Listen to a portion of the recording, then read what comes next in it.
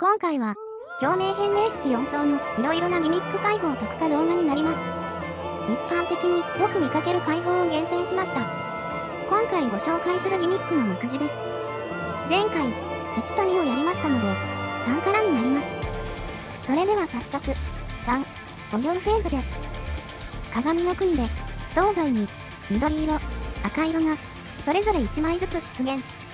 どちらに何色が配置されるかはランダムです。ボスは、南北どちらかの外周まで移動して前方全範囲攻撃となるホーリーウィングをします。まず、最初は背面で回避しましょう。同じ攻撃が鏡からもされますが、配置上、必ず、この攻撃を受けることになります。この攻撃は、先頭からの並び順による威力減衰タイプの攻撃で、グループの一番先頭にタンクが立っている必要があります。さらに、攻撃にはノックバックと、先頭から4名には魔法ダメージ増加のデバフが付与されます。そしてその攻撃が緑鏡悪鏡という順できますので2グループに分かれて整列してギミックを受ける必要があります。鏡からの攻撃は前から順にダメージが弱くなりますがデバフがついた状態では2回目のホーリーウィングの時5番目が最もダメージ量が多くなるため悪鏡からのノックバックの5番目もタンクである必要があります。ですから1回目の処理が終わっても安心せず、しっかり各グループの先頭にタンクが立っている状態にしましょう。次は、実際の動きを見てみましょう。背面で避けて、1回目タンクは、緑鏡前、1回目の人たちは、内周の円より前くらい、2回目の人たちは、半分より前くらいに整列します。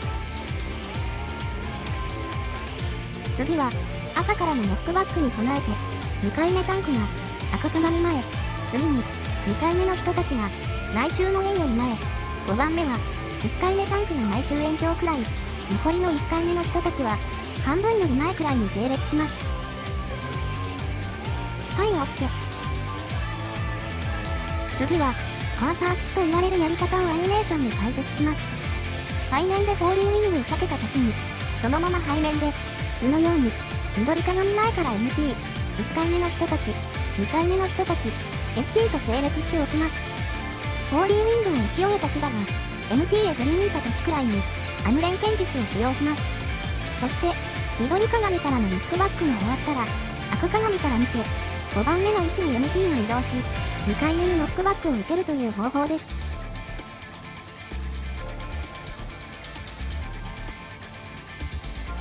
次は、実際の動きを見てみましょう。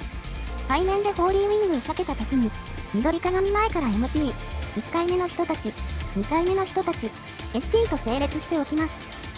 シバが MT へ振り向いた時くらいに、アムレン剣術を使用します。そして、緑鏡からのノックバックが終わったら、ちょうど赤鏡から見て、5番目の位置に MT が移動し、2回目のノックバックを受けます。意外と簡単。次は、4。点ギミックです。鏡の国の栄称で、8方向に鏡が出現します。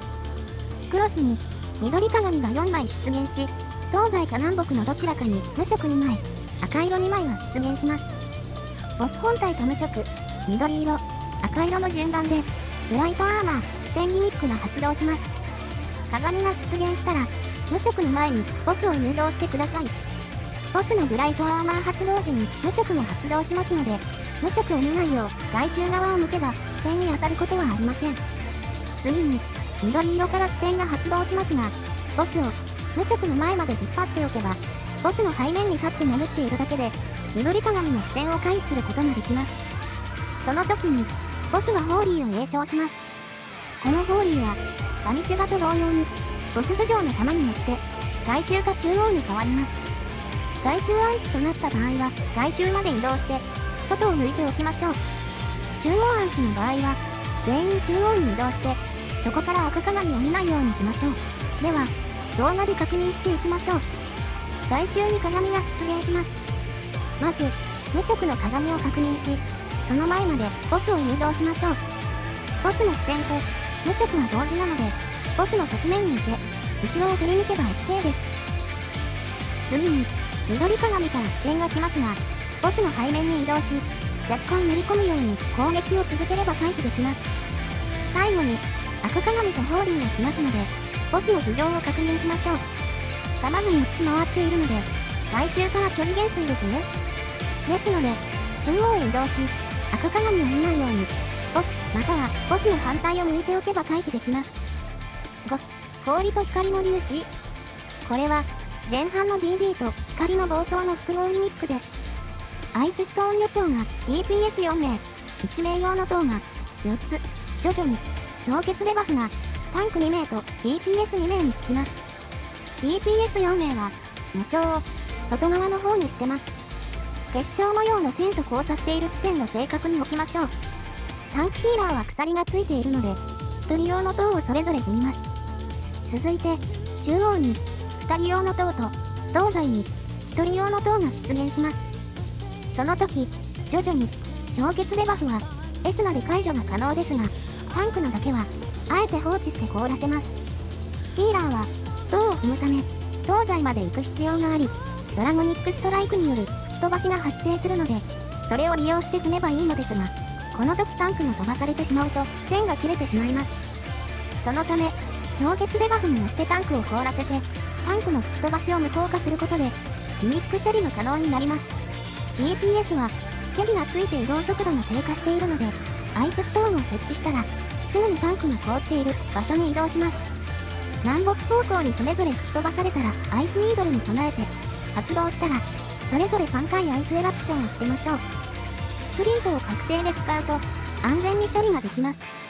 この時タンクには、バニッシュが来ます。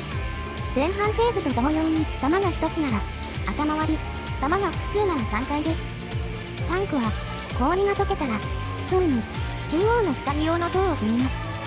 バニッシュが頭割りであれば特に考えず入ればいいですが3回だった場合は塔の端ギリギリまで寄らないと攻撃範囲がかぶります。続いて4人用の塔が中央に出現するのでここには必ず過剰コーでは2の人が入ってください。最後に全員に扇範囲が来ますので3回します。では実際の動きです。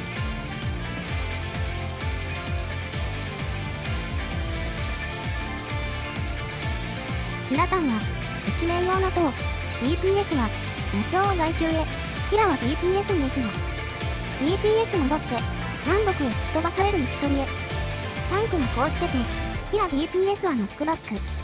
アイスニードルアンチで、ヒラは、そのまま外周塔に入ってて、DPS もアンチで待機。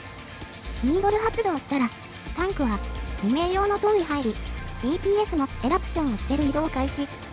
タンクはワニシュガを処理。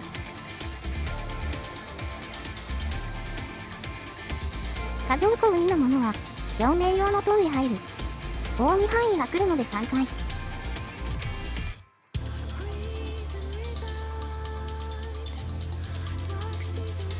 タンクにエスナをする場合は、やったことがないのでアニメーションのみです。ノックバックを受けるとき、タンクは移動スキルを利用してノックバックをキャンセルし、光の呪縛の距離を維持する方法です。メリットは、タンクが6秒間凍らないので、殴れるメリットがあります。しかし、少し慣れが必要なのと4層の後半ですので、失敗すると困りますのでおすすめはしません。こんな方法もあるんだということで流してみてください。6清流の方向1の2無敵モーンオファー12回目を無敵で受けます。メリットはギミックを処理する余裕が生まれます。注意点は最初の無敵タンクは生首に当たってから無敵を使いましょう。無敵貫通なのでボーラとかは死ねます。あとは1回目モーンオファー中に次の無敵タンクはヘイトを取りましょう。他には無敵とは関係ないですが生首に当たるとき巻き込まれないように関係ない人は中央寄る癖をつけましょう。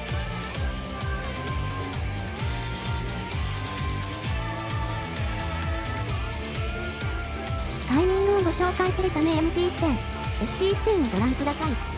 ポイントはモンアファーが確定するタイミングで ST は種を取ることです。MT 無敵です。シャープ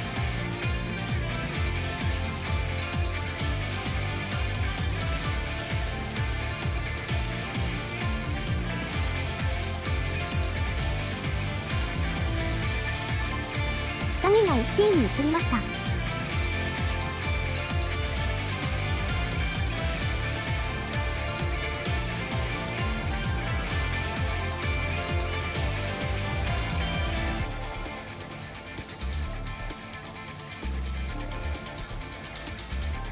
STEAM テクです。